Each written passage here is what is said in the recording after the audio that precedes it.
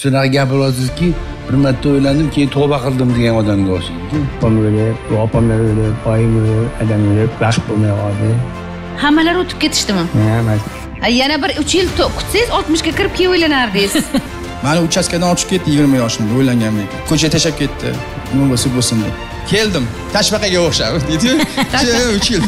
Yashang. Aniq bildingiz. Man dugonalarimni oldida man maqtanishim kerak. Brilliant olib berdi brilliant olib berdim keyin отдельно chiqamiz dedi отдельно chiqib ketdi mana qarang xotirada pullasizsa qotasiz birinchi farzandim olamdan o'tib qoldi to'qsoninchi yil sakson sakkizda uylanganman to'yimga sobit akamni olib akam kelgan man yaxshiman sizlarni kutaman har uyda hali o'lmaganman man bitta o'zim o'lmaganman mani ham haqqim borku yashashga baxtli to'g'ri shu qiz niyat qilyapti otamni duosiz chiqib ketmayman deyapti atigi bir yil yashab odam bir birini o'rganishi mumkinmi adam qanday deyotganda ani qizim bo'lsangizda man sizni turmushga chiqsam pechenangizga miltoni tirab tursam xo'p sen xo'p deding o'zim otib tashlayman desam shu majburlagan bo'laman. Men birinchi marotaba ayollar tomonida emasman. Sizni yoshingizda hali qizlar turmushga chiqmaganlari bor. Siz ham chiqib ham ajragan bo'libsiz. Keyin to'ydan keyin xotini telefon qilib boshladi. Yashirincha gaplashib boshlagan ko'rdim men keyin. Men aytdimku baribir aytaman deb menga ishonmanglar. Manga aytdinglar man xalqqa albatta aytaman bu narsani assalomu alaykum. Insonlar taqdirlar adashishlar va ularga to'g'ri yo'l ko'rsatuvchi yor yor dasturi efirda. Assalomu alaykum mehribonlar. Hech qachon yiqilib qoqilib yurmanglar assalomu alaykum aziz tomoshabinlar. Xuddi mana shunday chiroyli xush kayfiyatda motivatsiya bilan bugungi dasturimizni boshlaymiz va hamkorlarimizni eslatib o'tamiz. Demak artel savdo belgisiga volidam liboslar do'konigayu va albatta bugungi ko'rinish uchun esa umidaxonim muhammadxo'jayevaga minnatdorchilik bildiramiz va dasturimizni boshlaymiz azizlar. Kuyovlikka nomzodimizni chaqiramiz.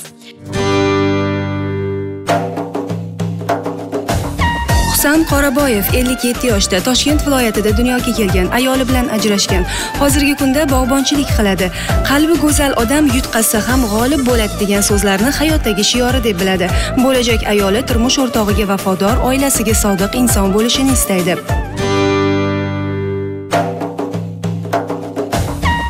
Shuhrat yusupov 55 yoshda toshkent shahrida dunyoga kelgan ishtirokchimizning so'zlariga ko'ra oilasidagi turli mojarolar sabab ayoli bilan ajrashgan. Ba'zan yo'q joydan sabablar topib baxtli bo'lishga harakat qilasan. Ba'zan esa sabablar ko'p bo'lsa ham baxt qalbingga sig'maydi degan so'zlarni hayotdagi shiori deb biladi. Bo'lajak ayoli tarbiyali shirin so'z inson bo'lishini istaydi. Assalomu alaykum. Va alaykum assalom. aytaman sizlarni assalomu alaykum yaxshimisizlar va Xo'sh. alaykum assalom. Husan aka toshkent viloyatini? Qo'chirchiq quyi g'alaba chirchiqdan a aha. Farzandlar bormi? Yo'q bir marta uylanganman boshqa uylanmadim. Bir marta uylangansiz boshqa uylanmagansiz necha yil yashadingiz? Ko'p yashamadim uch oygina yashadim. U paytda onam bor uch oy edi necha yoshda uylandingiz? Yigirma to'rt yoshimda yigirma to'rt yoshda uylanib uch oy yashab shu bilan yigirma necha yildan beri uylanmadingiz ham hayotda endi uyda uyda uncha muncha muammolar siz o'z shunaqa gapiryapsizki bir marta o'ylandim keyin tavba qildim degan odamga o'xshaydi hayotda uyda muammolar ko'payib ketdi. Opam o'lib opamlar o'lib oyim o'lib adam o'lib vaqt bo'lmay qoldi. Hammalari o'tib ketishdimi hammasi kim qoldi? uyda akam qoldi qo'l ikkalamiz qoldik. Uchta erkak qoldinglar. uyda. ish uyda ish bo'lib qoldi ona ham vafot etdilarmi ancha qiynalib qoldim lekin. Halim ikkita opam bor ekan akam bor ekan akamni o'g'li bor ekan. Yaxshi yordam berib keyin endi keyin uylantiramiz. Men aytib uylanmayman birinchi uy olay uy olmasam qiynalib qolaman dedim. Uy oldim keyin. Uyim bor to'rxona uy bor. Ha, Bu yaxshi. yaqindan qilib olganman. Quyi chirchiq deganingiz qayerda edi? G'alaba rayonidan kurpskiy mahallada sirdaryoga Yo'q, Sarlavskiy tomonda, Sarlavskiy. tomonda Hozir- o'tganda. To'rxonali uyingiz bor domda. Ha. Yo'q do'mbiz pastda ha bir nimada uchastka? Hovlim yo'q. Hovli yo'q? Hovlini uy quraman to'rxona qilib berdi davlatlar qilib berdi ruxsat berdi. Ha. hammasini joyiga qilib berdi. Bitta o'zingiz yashaysiz to'rxonali uyda uyda. qanchadan biri? Akamdan chiqib ketdida bo'lak Ha, uyat ha. berdida ungacha birga bitta yashadingiz narsani bilaylik davlat qanaqa to'rxonali uy qurib berdi nima sababdan qurib berdi? Sizni yolg'iz deb qurib berdimi Yo'q, yo'q, yo'q. qurib berdimi nima karomat ko'rsatdingizki xonalar yomon edi davlat yordam berdi. Hammaga ayollarga anaqa yetmaganlarga yetkazib uylarini buzib anaqalarni buzib shipillar boshqacha shipil qilib siz ishlaysizmi ishlaysizmi Ha, man ishlayman to'rtinchi sektorda. Bog'bonsiz, a? ha bog'bon. Bog'bon bo'lib qayerda ishlaysiz? To'rtinchi sektorda ha to'rtinchi sektorda ishlaysiz. Oyligi yaxshi. Oila yaxshi pensiya ketadi. Nechi pul oila beradi o'shanga bir million besh yuz o'sha yerda men ishlaxonam o'sha yerda ham qolyapman ular ham yordam beradi mana shesho't tomondan rais raisimiz bor saida opa o'sha yordam beradi mayli yordam berak shu o'ziga kelib olsin uylantiramiz mayli pul olib keling deb yana bir uch yil kutsangiz oltmishga kirib keyin uylanardingiz uch yil uyladim kutmabsiz opa uy oldingiz ha qilibsizda manga keladiganlar uy joy olib tayyor bo'lib keladi deysizku yo'lmasam to'xtamay qiynalib qolamanku ha, yaxshi nima qilib ajradingiz uch oygina turib? Yo siz to'g'ri kelmadingizmi to'g'ri kelmadimi? qap qaytadi ham o'zimga ham to'rga ham anaqa yurib ketaveradida endi bu yoqni aytmasam bu. Yurib ketgan onamga to'g'ri kelmadi. Ho'p onam tushunarli. Keyin davlatni ko'tarib ketdimi? Shunday bolamni o'g'il shunday bolamni nosh qilib. Endi Bo'ldi, Husanjon, tushunarli. kelayotganda nasilkada kelmaganku yurib kelganku yurib chiqib ketadida endi. Ho'p shuhratjon sizga o'tamiz. Toshkent shahrini qayerdan keldingiz? Yakkasaroydan yakkasaroydan hop propiskam sergeliydan uy olganman hozir qayerda turasiz ro'yxat bo'yicha? Sergelida turaman. sergelida turasiz yangi uy a yangi uydan olganman. Nechi xona? Uch xona. Bitta o'zi bitta turasiz. o'zim turaman. Uch yildan beri. Uch yildan beri? Ha, o'zim xarimasini o'zim qilaman sabab? Ajrashib ketganman. Bolalar bormi? Bor edi.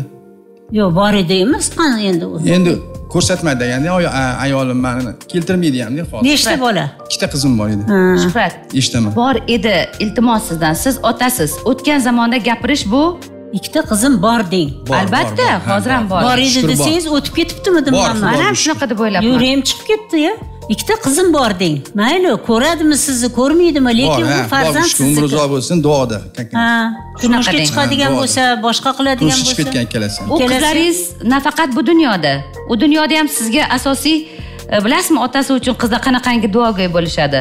Hozir siz boshqasiga o'ylansangiz ham bunaqa qiz beradimi yo'qmi xudo bilmaymiz shuhratjon. Bilaman u necha yil yashadingiz? O'n uch yil yashadim. o'n uch yil. O'n uch yil. Yashab ikkita farzandli bo'lib ajrab ketdingiz. ajrab ketdim. sabab? O'zi ketib qoldi. Mani uchastkadan ochib ketdi yigirma yoshimda o'ylanganimda ekan. Отдельно turamiz dedi kenja o'g'lim man to'rtinchisiman. Ikkita akam bitta opam bor. Ha. O'ylanganimda ekan bir yildan keyin hunarini ko'rsatdi отдельно turamiz yuring yuring deb ochib ketdi opasini uyiga. Opasini uyiga borgandan keyin uch to'rt yildan keyin pulni so'radi. Pul berdim qirq ming yo'q dedi yana uy olib ber dedi. Ikki xonali uy olib berdim chilonzordan o'zim harakat qilib. Olib bersam keyin bolalarini olib ketib yubordi bo'ldi nomiga o'tkazib hammasini o'tkazib ketib yubordi. Mayli ikkita bolangiz bor ekan. Ha, ko'chaga tashlab ketdi. Nima bo'lsa bo'lsin deb. Keyin o'zim harakat qildim. Olloh yordam berdi menga olloh harakat qildim mehnat qildim moshina oldim uy oldim. Hammasi mana olloh xudoga shukur erkakning moli endi yerda uch yilda endi pishdim. Men hammasini o'zim qilaman uyda ovqat qilaman hammasini o'zim qilaman. Kir yuvaman o'zim dazmol uraman o'zim tikaman o'zim opa singillar bormi bor opam bitta opam bor. Ho'sh shuhratjon eshitaman labay hayotni oxiri emasku ukam hayotni birinchi ajrashgani yoki birinchi bitta o'zim yashaganimga ham shunaqa bo'lib ketganman.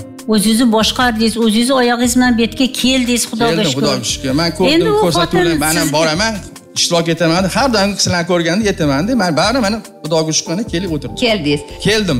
Tashbaqaga o'xshab deydiyu. Uch yil yashang aniq bildingiz yo bitta narsa borda omina opa nima aka desin man keldim. Yashang shukur. desin albatta. Hammasi uyiga ketadi. hech kim. kirib ketadi uyiga. Xotinini bola chaqasini oldi kirib ketadi. Man bitta o'zim qolaman uyda. Zerikaman televizor ko'raman qaysi biri uyni joyini tashlab sizni oldingizga kelyapti? Ha. Hech qaysisi. Hech qaysisi. Hech qaysisi kelmaydi ham. Kelmaydi yolg'iz keldik yolg'iz ketamiz. Shu o'shaning uchun shu yolg'izlikni yengadigan yo'lni tezroq topish kerakda baxtli bo'lib yashash kerak. Shuning uchun keldim mana. Shu manga dardkash kerak edi o'tirib kechqurun masalan ishdan kelib mana manga ovqat qilib qo'ysa mana xohlagan ovqatimni qilaman uydan kelib xarajat qilib xohlagan ovqatimni qila olaman qo'limdan shirin ovqat qila olaman hammasi besh.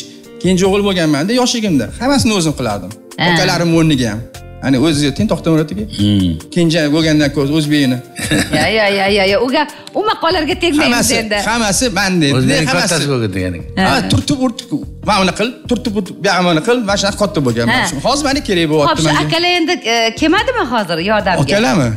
Hammasi o'ziga ketgan akalarim.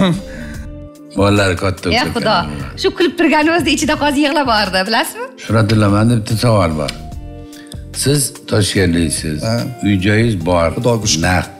Endi mabodo sizga e, olloh lozim ko'rgan ayol viloyatdan bo'lib qolsa nima qilasiz? Yo'q viloyat toshkentlik bo'lishini xohlayman ho'p toshkentlik nima qiladi? Sizni bo'yningizga marjon taqib qo'yadimi? Yo'q man endi buni xohishi degan. Xohishimda shu toshkentlik shunaqada o'ylanishim. endi. so'radim. balki taqmas manga qarang oliy ma'lumotli bo'lsa ishlaydigan ayol bo'lsa keladi. vafodor bo'lsin. Ha.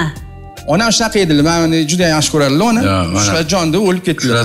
Siz agar mana shu ko'rsatuvni yaxshi ko'radilar onam eshityapsizmi shu ko'rsatuvni kuzatadigan bo'lsangiz agar Hmm, kuzataman, o'ntami maylida endi shunaqangi bir e, qiynalgan mana shu hayotni qiyinchiliklariga dosh berib kelayotgan yosh yosh ayollarimiz bor borda. Bor bor bilaman.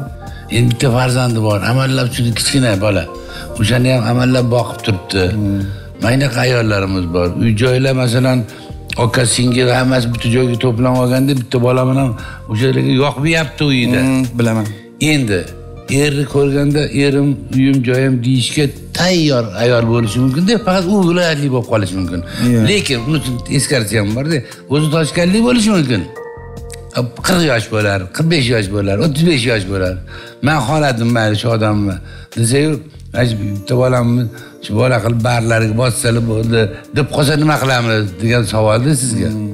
Qizi bor bo'lsa mayli qiziga qarab shuhratjon kecha bitta ayol keldi yig'lab o'tiribdida oliy ma'lumotli yaxshi qizim deydi o'ttiz yetti yoshda deydi. Yig'laydiki endi deydi shu turmushga chiqish kerak man aytdimki oliy ma'lumotli qidirayotgandir u. Yo'q inson bo'lsin deydi. De mana shunaqa inson bo'lib qolsa masalan turmushga chiqmagan qiz bola o'ttiz yetti o'ttiz sakkiz qirqlarga kirib qolganlar ham borda turmushga chiqmagan ayol bo'lsa ham maylimi degan savolni beryapman sizga. Mayli. Bo'pti. Olloh podsho ko'rsatar yaxshi biz esa husan qoraboyevni ayni damda ekraningizda ko'rayotganligingizni yana bir marotaba ta'kidlab o'tamiz. Ellik yetti yoshdalar toshkent viloyatini quyi chirchig'idan kelganlar azizlar. Ajrashganlar ikki oy yashab a? Yonlarida esa shuhratbek yusupovni ko'ryapsiz azizlar. Ellik besh yoshdalar toshkent shahrini yakkasaroy tumanidan kelganlar. Ammo ro'yxat bo'yicha sirgeli tumanida sergelida turadilar. Ajrashganlar kasblari haydovchi. Aytishlariga qaraganda shuhratjon o'n uch yil yashab ajrashgan ekan. Sababi e, ahli ayollari bilan juda unaqa ahil inoq yashashmagan ekan. Ammo mana shu ahil yashamagan davrlarda ham ikkita qiz dunyoga kelgan. Bir odamdan umid edod iroda umida man eshigim ochiq har doim kutaman ularni. Kelsin man ularni hech qachon o'zingiz ham ota bo'lib bir xabar bir xabar olib turasiz. Xabar oldim bo'lmadida. Necha marta bordim militsiya qilib yubordi. Ah. militsiyaga borib yozib berdim boshqa xabar olmayman. Rosa bordim man undan o'tganimni siz bilmaysiz qo'llarimni kesib tashladim nimaga? Ikkita farzandimiz bor yetim qilmagan ye unaqa qilmang endi. Uy bari ketdi. Yo'q u nima sabab dedi xotiningiz misol uchun?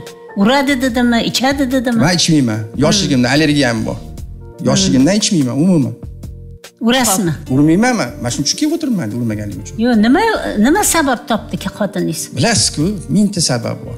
Yerda yashab ko'ray dedi bu yerda yashab ko'ray u yerda olib ber dedi bu yerda olib ber dedi. Oxiri man boshida brilliant olib ber dedi. Frunze targon sentridan brilliant olib berdim. Opam ikkita uzuga pul beruvdilar psmdan anaqaga. Man qil- dugonalarimni oldida man maqtanishim kerak. Brilliant olib ber dedi brilliant olib berdim keyin отдельно chiqamiz dedi. Отдельно chiqib ketdi mana qarang oxirida pullashsa qotasiz to'g'risida boshidan o'tgan boshidan o'tgan tabib degan ekan bitta hamma narsa bolalarga qanaqa qaradim bilasizmi bolalarga bog'chaga o'zim qarab o'zim radomdan olib chiqib o'zim polniy qaraganman bolalarimga o'zinglar olib chi- chiqib ketdinglarmi o'shanda yoki sizlarni chiqazib yuborishdimi u voy kelin borku o'zi chiqib ketaman degan отдельно yashaymiz degan yashab ham ko'rdingiz bo'lmadi. O'n uch yil yashadim.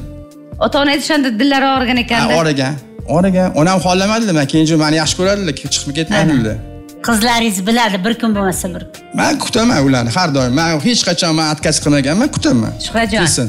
Gap yo'q eshigim ochiq. Qo'limdan kelganicha bor mehrimni bor narsamni beraman bolalarimga bolalarim necha yosh? iroda bilan umida necha yosh? To'qson ikkinchi yil to'qson uchinchi yil.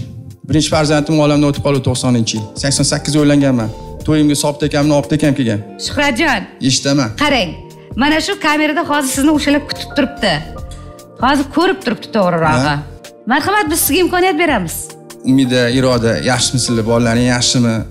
Man yaxshiman. Man sizlarni kutaman har doim. Uyda. O'zim turibman uch yettinchida uch xonali uyda. Bitta o'zim. Sizlarni kutaman har doim. Sizlar sog' salomat bo'linglar baxtli bo'linglar bolalaringlarga bosh bo'lib yuringlar man xursandman sizlardan boringlarga shukur.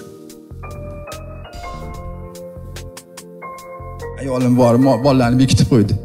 Uyiga borib chiqarmadi hech yoqqa man boruvdim rosa bilasizmi qanaqa o'tdi mani ko'rsatishmadi. Tog'alari chiqib haydashdi mani. Rosa yomon qilishdi.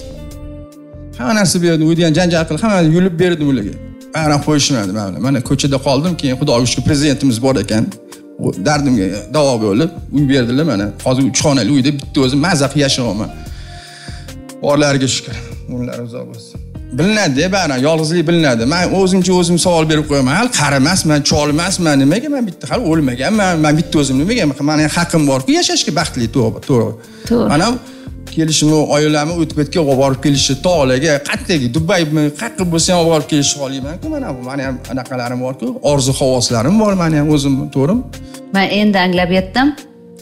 Bu otada qayerdan shunchalik e, ichidagi fantan bo'lib turgan lekin ota olmayotgan o'sha po'rtana nimada deb endi hozir anglab yetdim omin opa ota baribir yaxshi ko'radi farzandlarini to'xtamurod aka yana yaxshi ko'radi. Shu darajada oilasiga qurbon bo'lish bu hamma erkakka emas. Ketma dedim qol dedim oilani buzmaylik dedim. Odatda erkaklardan kam eshitasizda bu gaplarni. Qizlaringizni uzatganda chaqirdimi xotiningiz? Yo'q chaqirmadi. Eshitdingizmi o'zi to'yni? Keyin eshitdim bo'lganini eshitdim. A keyin eshitdingizmi keyin eshitdim keyin yetdi. Mayli azizlar bu tangani birinchi tomoni. Tangani ikkinchi tomoni haqiqatni yana baribir ayolingiz gapirsa boshqacha gapirar er- e, shuhratjon lekin biz hozir sizni eshitib xulosa chiqardik. Xullas mana shunaqangi hangomalar azizlar. Man shu ayollarga murojaat qilmoqchimanda jon ayollar. Eringiz bilan ajragan bilan farzandlaringiz otasi bilan ajramaydi. To'ylarga chaqirib o'sha yerda bosh bo'lib turishiga yo ruxsat beringlar. Agar u qizlar besh yosh o'n yosh o'n besh yoshgacha bo'lganda man ha mayli derdim keldim pechenangda bor ekan derdim lekin u qizlar turmushga chiqqan turmushlar yoshiga borgan. Iya ona gapiraveradi de. Gapiradi. sani otang borku. Ona ho'p siz gapiryapsiz siz yoningizdamiz xudoga shukur mana boringizga shukur shu otamdan ham bir marta xabar olib qo'yaylik biza. Ha, bizaga nima yomonlik qilgan u? Bizani haydab chiqargan bo'lmasa bizani urgan bo'lmasa deb o'sha qizlarni o'zi bir marta bo'lsa ham kelishi kerak shu bolani qidirib o'shada e, o'zim o'rgilish otasiz o'sayotgan qizlardan.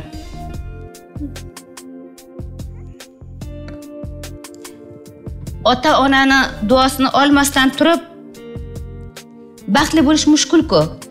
Tirik bo'lsa nega izlab topmaysiz otani? Tirikku. Onangizni haqqi yo'q sizni to'xtatishga. Man sizlarga bitta yolg'on gap aytaymi ha ayting.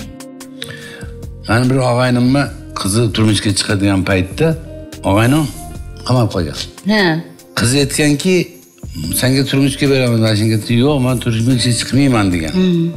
Adam kelmaguncha degan. Bir yildan keyin keladilarmi ikki yildan keladilarmi man ungacha turmushga chiqmayman desa tog'asi aytibdi san mana shu yigit yaxshi yigit mana shunga turmushga chiqqin. Adang keladi debdi. Endi qarang kim endi xudoni zorini qilib shu boshliqqa yalinishganmi boshqasiga yalinishganmi? Bir soatga degan bir soatga. Berib turing shuni. Hech kimga anaqa qilmasdan qog'ozga o'raganda Sanqramang. shuni olib boramiz. Shu qiz niyat qilyapti. Otamni duosisiz chiqib ketmayman deyapti. Olib keldi. Allohu akbar deb olib borib qo'yishdi. Bir ancha yil bo'lib ketdi bunga man shuni guvohiman mana qiz bolalar uyda katta bo'lgan qizlar bor. Otasini ko'rsangiz aytadiku alkash deydiyu ichib yotib dumalab yotgan otasini ham topadi. Chunki bu mani deydi padari buzrukvorim deydi. Bu bo'lganda man bo'lmasdim deydi. Yashang agar otam deydi dunyoga kelmaganda man dunyoga kelmasdim deydi. Bu narsalarni ko'rmasdim dedi. Ha yashang turmushga chiqayotgan qiz otasi vafot etgan bo'lsa bo'lajak shu kuyovni mozori boshiga borib Albatta. otasidan rozilik so'raganlar. Rozilik so'raydi qur'on o'qib rozilik so'raydi. Ya, ota rozi bo'ling. Mana. turmushga chiqolman deb shunchalik otaga nisbatan mehr bo'lishi kerak. Gapirmang. Harakat qildim bo'lmadi. Baribir nima bo'lgan taqdirda ham ayni damda bizni shuhratjonni ayollari ko'rayotgandirsiz? Ikkita qizingizni otasi tirik. Ota tirik. Bolam men yomonmanmi yaxshimanmi? Biz bilan otangni oramizdagi bo'lgan munosabat bu bizniki. To'g'ri. Bolam bor otangdan duo olib kel demakki xulosa chiqarsiz o'zingizdan. Biz esa dasturimizni davom ettiramiz va kelinlikka nomzodlarimizni chaqiramiz. Marhamat kelinglar. Gulsanam fayzullayeva 39 yoshda qashqadaryo viloyati nishon tumanidan. Ishtirokchimizning so'zlariga ko'ra turmush o'rtog'i bilan kelisha olmay u bilan ajrashgan. Bir nafar qiz farzandi bor. Hozirgi kunda maktabgacha ta'lim muassasasida tarbiyachi bo'lib ishlaydi.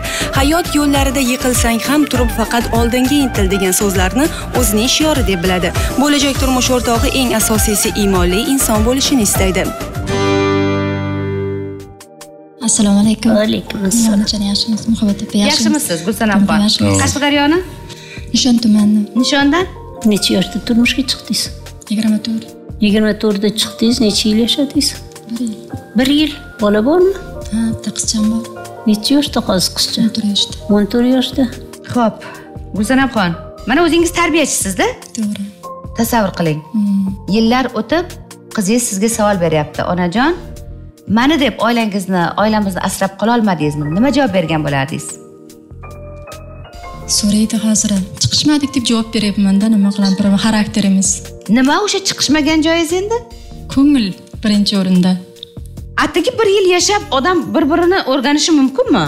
E, boshidan ham ko'ngilsiz bo'lganmizda bir birimizga hop nimaga ota onalar binosi bilan turmush qilganmiz ikkalamiz ham bu sizni hayotingizku yigirma to'rt yoshda ekansiz. Har holda ongli fikrlash qobiliyatiga ega odamsiz. o'n yetti yosh bo'lsangiz o'n besh yosh bo'lsangiz majburladi desak boshqa gap edi. Mana qarang majburlash degan so'zni man qanaqa tushunamanda agar mani qizim bo'lsangizda man sizni turmushga chiqsam deb peshonangizga miltig'ini tirab tursam xo'p sen xo'p deding o'zim otib tashlayman desam shu majburlagan bo'laman.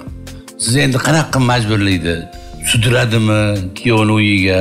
Nima qilma siz xo'p degansiz. Zagsga borgansizlar degansiz. shunga desa ha degansiz yo'q nimagadir qashqadaryoda mana shu narsa hali ham saqlanadi azizlar. Qashqadaryoda qizni taqdirini baribir to'g'risida to'xtamon aka kattalar hal qiladi. Hali ham shu bor a shu? Bor bor ha hali ham shu vakillar ichkarida o'tirib qizlar bu yoqda o'tiradimi? Hali ham shunaqami? Hali ham shu e, nimadan eshikdan turib vakilingizni berdingizmi? Vakilni qabul qilasizmi? Hali ham shu gaplar bormi? Yo'q. Azizlar bu sizni urf odatingiz qashqadaryoliklar biz aralashganimiz e, befoyda lekin zamon o'zgargan sayin qadriyatlarni olib qolib salgina bir insonlarga yoqimli tarzda bir shu narsani olib qolsa mumkinmi omina opa? Mumkin. Endi qonun ham bu taraf hozir misol uchun. Hozir mana ota onangiz qay ahvolda? O'sha paytda to'y bo'lsin to'y bo'lsin deb shoshgan. Bir yildan keyin qaytib keldi qay ahvolga tushdi endi? Ikkala tomon. bir umrga bir umrga bu farzandi otasiz u yigit bilmayman necha marta uylandi butun hayotini barbod qildi. Agar balkim bir to'rt besh yil yana chidaganingizda balkim yaxshi bo'lib ketarmidi? Balkim. Chidash kerak edi? U yengil tabiat bo'lsa siz og'irroq bo'lishingiz kerak edi. Yo'q hayotda bitta narsa bor. Agarki oilada bir yoq tomon sal og'irroq turmasa u oila parchalanadi bilasizmi shuni? A nimaga og'irroq turmadingiz qo'lingizdan kelmadimi uchinchi shaxs aralashuv uchinchi shaxs qanaqa qaynog'amiz. Qaynag'a endi eshitishim qaynog'ani nima qilib ajrashdi u? Qaynog'angizni xotiniga aytmadingizmi aralashmasin bizani oilaga. Yo'q yo'q sizni oilangiz parchalanib ketyapti aytmaysizmi kechirasiz. Yanga biza oilamizga aralashmasin. Man turmushim bilan yashayman. Bitta bolam bor. Bolamni otasiz qo'ymayman.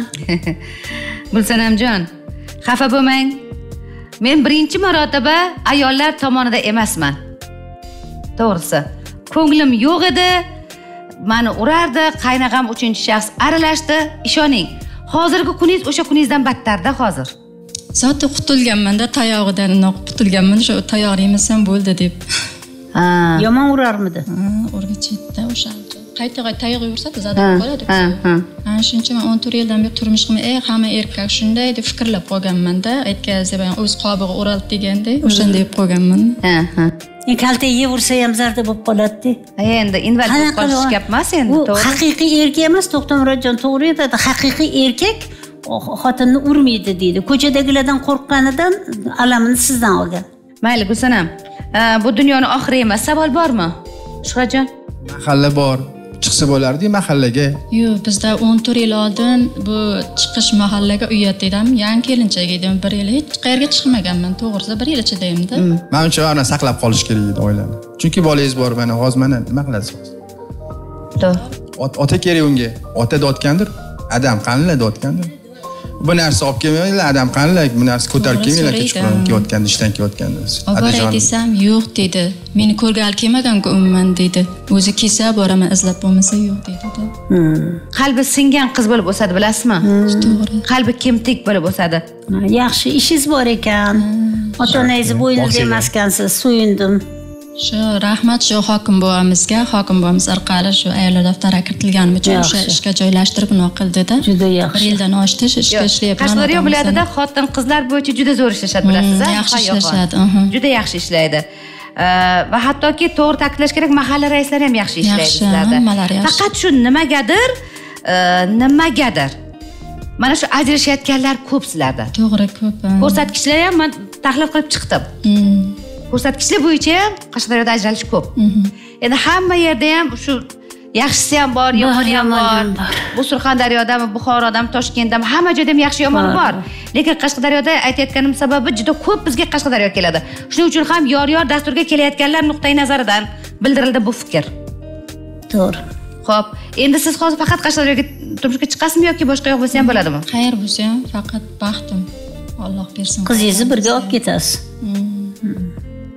Qizi bilan birga qabul qiladigan odam kerakda bunga. Albatta. Ho'p gulsanamjon biz sizni chuqur o'rgandik. Xudo xohlasa ilohim hamma hamma hayotingiz e, bir kun emas bir kun kitobga tushirilgan chog'da o'zingiz uyalib qolmasangiz bo'ldi. Gapimni tushundingiz a chunki insonni baribir umr daftari bitiladi. O'sha umr daftarlari bitilgan chog'da adashmasangiz va o'sha har bitta o'sha bitilgan satrlarda o'zingiz yo'q man haqman degan joyi bo'lsa bo'ldi ho'p man sizga qiyomat degan chingiz aytmatovni kitoblarini beraman? Bu valijon buxoriy bizga taqdim etganlar E, va albatta artel savdo belgisidan ajoyib sovg'alarimiz ham siz uchun. Marhamat. Dasturimiz davom etadi azizlar. Biz esa keyingi kellikka nomzodimizni chaqiramiz jamilaxon xursanova 27 yoshda surxondaryo viloyatida dunyoga kelgan. Oilaviy kelishmovchiliklar sabab turmush o'rtog'i bilan ajrashgan. Farzandi yo'q. Hozirgi kunda oshxonada salat tayyorlovchi bo'lib faoliyat yuritadi. Go'zallik muhabbatga sabab bo'lolmaydi. Aksincha muhabbat go'zallikni ko'rishga majbur qiladi degan so'zlarni hayotdagi shiori deb biladi. Bo'lajak turmush o'rtog'i yolg'on gapirmaydigan insofli diyonatli halol inson bo'lishini istaydi. Assalomu alaykum. Va alaykum assalom yaxshimisiz jamila? Yaxshi rahmat. O'zingiz yaxshimisiz? Surxondaryoni sherobodga yaqin. Sherobod. Sizni yoshingizda hali qizlar turmushga chiqmaganlari bor. Siz ham chiqib ham ajrab ham bo'libsiz. Nima bo'ldi? Shu uylangan ekan keyin ajrashmagan ekan o'shaning uchun. Uylangan ekan ajrashmagan ekanmi keyin keldimi siz borganingizdan keyin? Yo'q birinchi turmushim turmushga chiqdim. Turmushga chiqqandan keyin zagsga borganda ham ko'rsatmadi nimaga yo'q bu ko'rsatmaymiz keyin ko'raverasan deb zagsga olib kelib ruhiy kasallik uchun. Yo'q qanaqa qilib ko'rmasdan turmushga chiqadi? Umuman ko'rmasdan turmushga chiqibdi. Bu rost gap a Yo'q. keyin to'y kuni hamma ko'rdi xolamlar tog'amlar hammasi hech qaysi to'xtatolmadi uni keyin ertasi kuni olib qaytdi meni keyin. Mana shuda turlicha kimga bu sabablari to'y bor. kerak edi? Shuncha pul sarf qilib opamni og'zini ham aytmaganman shunaqa. Qilib keyin rossiyaga qochib ketgan oradan ancha o'tgandan keyin kelmadi uni topolmadik shu bilan. Zagsdan o'tmagansiz? Yo'q. endi turmushga chiqmang. Ikkinchisichi? Ikkinchisida ham uch kun ichida bo'lib ketdi u ham. Keyin zagsdan ajralganman men deb aytgan o'shanda ham zagsdan ajralgan ekan keyin to'ydan keyin xotini telefon qilib boshladi. Yashirincha gaplashib boshlagan ko'rdim men keyin. Uydagilarga aytdim keyin shunaqa shunaqa bo'ldi yashamayman men deb keyin yashasang yasha yashamasang ketaver men boshqaga ham uylanaveraman dedi necha oy yashadingiz u bilan bir yarim oy. Bola yo'qmi? Yo'q. Manga qarang jamilaxon siz aqli rosa qizsiz turmushga chiqqaningizda birinchida necha yoshda edingiz yigirma uch yosh. Yigirma uch yosh. Ikkinchisida?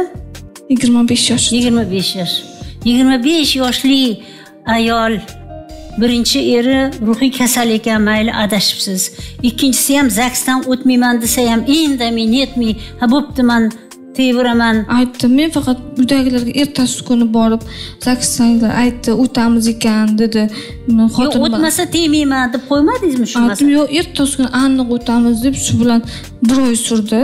Ishga ketib qoldi o'zi keyin balki shu ikkinchisi baxtimdir deb o'ylagandim. Men ham ho'p mayli yashab ketaman deb lekin xotini bilan ajrashmaganligini bilganim yo'q edim o'zi ham aldagan ekan o'zi ham yashirincha gaplashgandan hop keyin uch kunda ham to'y qiladimi odam degan e bir kunda qilib yubormabsizda ota onangiz birinchi baxtingiz bo'lmagandan keyin ikkinchisiga sal o'ylamadimi? Yo man bitta taqdir masalasi ketyaptiyu inson taqdiri. ko'rmasdan. O'shada to'xtam aka kim ko'rmasdan uylanishi mumkin?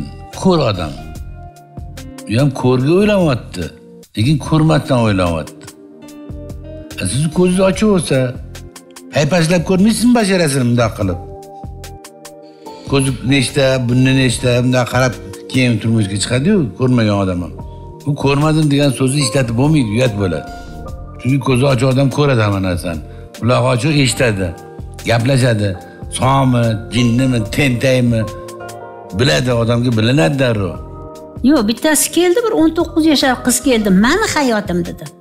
Man o'zim hal qilishim kerak o'n to'qqiz yoshda gapiryapti a bu yigirma ikki yigirma besh yoshda bittasi ruhiy kasal bo'lsa tegib ketibdi. Ikkinchisi uch kunda to'y qilamiz to'y qilibdi. namuncha shoshasizlar ko'rayman nima gap nima deysizmi? Zagsdan o'ting yurasan mana shunaqa qilib turmushga chiqsang ham. Mana endi nima bo'ldi? uchinchisiga nimasi desa desin odamlar menikisan mening hayotim degan ekan bittasi. Mana. Bu hayot siznikiku singlim? Hayot sizniki? Uch kunda ham to'y qiladimi hech zamonda odam? A sizlar piyolani olib boshqa bitta odamga sotayotganda ham hattoki bundoq qaraydi. Qaraydi qayerni piyolasi bu? Bu xitoynikimi o'zbekistonnikimi chinnisi nimadan a? Dars ketmaganmi u yoq bu yoqlaridan bu ko'radi odam degan. Shunga ham o'ylanadi a bu inson butun boshli inson taqdiri ya qizim? Yo'q ko- ko'r- ko'rmasdan masalan ko'rmas misolda ham ko'rmadingiz necha yosh? yigirma to'rt yoshli yigit ekan desada keyin go'shanga kirganda yetmish beshga kirgan chol o'tirgan bo'lsa. Gapirmang astag'firulloh. Ko'rmagan ko'rmagandan keyin o'shada mana shu edi Albatta. desachi anda bevosha. Yana bitta narsada jamila qarang sizga yetib bormayapti shu narsa. Qarang. Masalan men sizga aytaman. Mana shu telefonimni sotaman deyman. Olaman deysizmi? Ko'rishim kerak deyman. E, astag'firulloh. Telefonni ko'rishingiz kerak ekanku bilarkansizku shu narsani. Chunki u vaqtda men o'zimga hamma narsani topshirib qo'ygan yo'qda ham. Ayam yo'q dadam bor bitta. Bir dadam bor ayam yo'qolgan. Vafot vafot etganlar etgani bilan yo'qolgan deyishadi. Ha? Beshta she'rada qizimiz shunaqa. o'zi men to'rtinchisiman tanlayverasan tanlayverasan chegin desang endi nima bo'ldi? Endi hozir xafa bo'lib o'tirishibdimi sani baxtingga zomin bo'ldik deb. Kuni kecha bittasi menga aytyapti. Muhabbatxon shu yor yor dasturini ko'rib deydi bugun qizim deydi to'g'risini aytaman deydi o'ttizga kirdi bittasi yigirma yettiga kirdi bittasi yigirma beshga kirdi bittasi deydi. Har kuni deydi xotinim ikkalamiz deydi bir urushib olamiz deydi.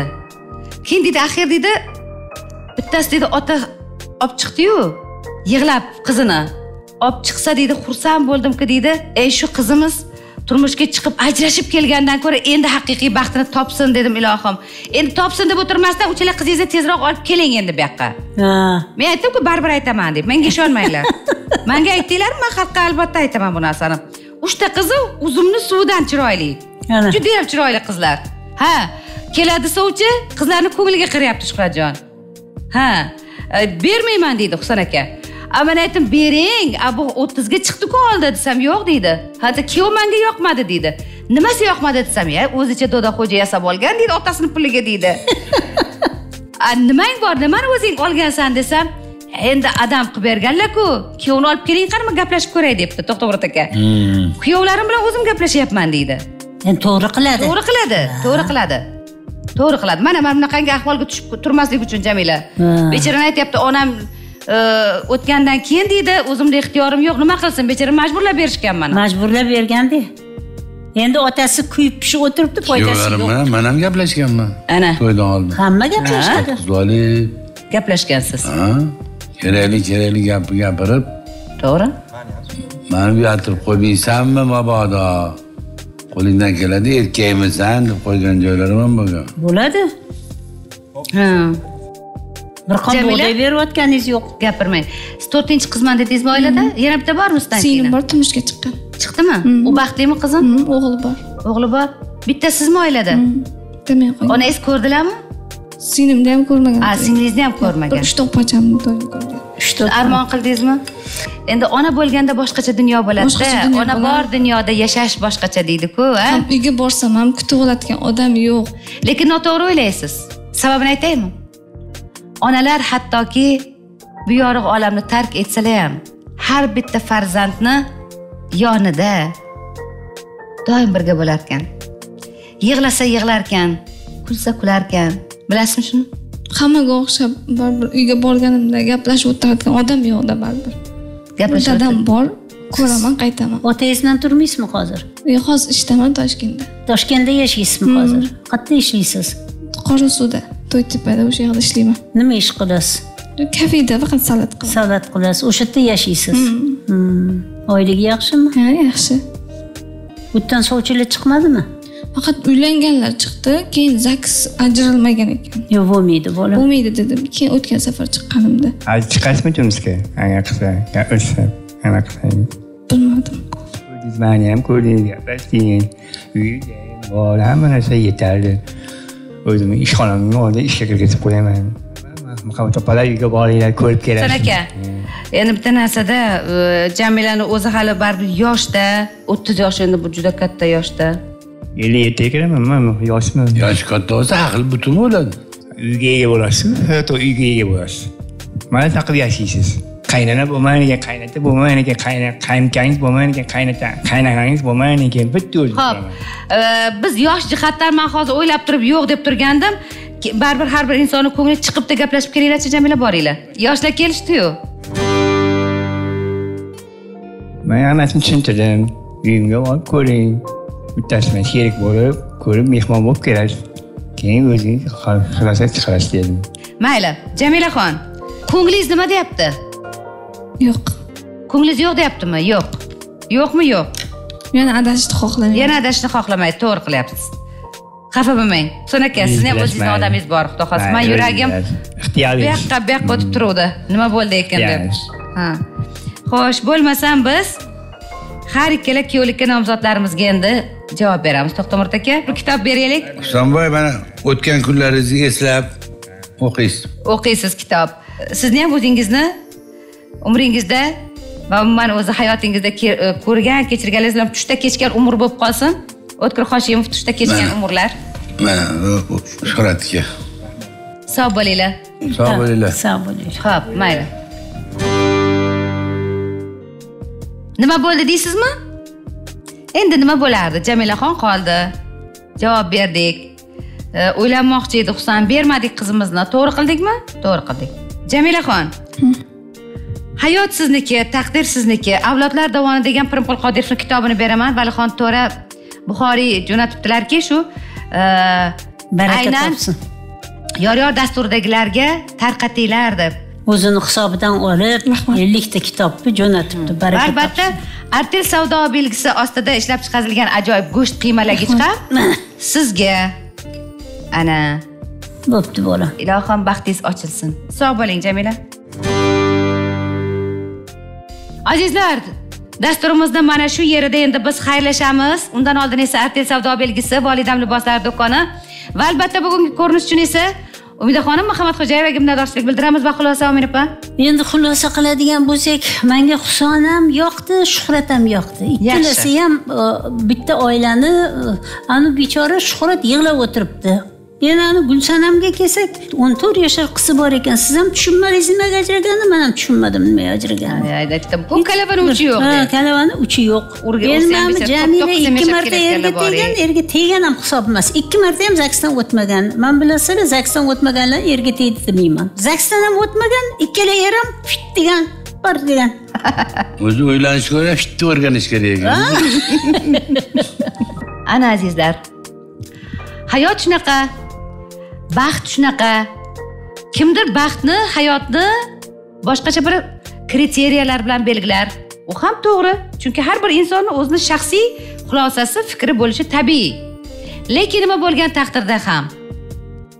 Baribir baxt uchun ham hayot uchun ham ozgina qurbonlik bo'lmasa u o'z o'zidan sizga kulib boqmaydi. Agar shunday bo'lmaganda edi baxt nimadir? Men bila olmadim sevgi nima ekan tushuna olmadim ammo armonlarning azoblaridan qancha chidasam ham chiqa olmadim deb satrlar bitilarmidi? Nima dedingiz? Ko'pga emas ertangi diydor qadar omon bo'ling. Sog' bo'linglar. Salomat bo'linglar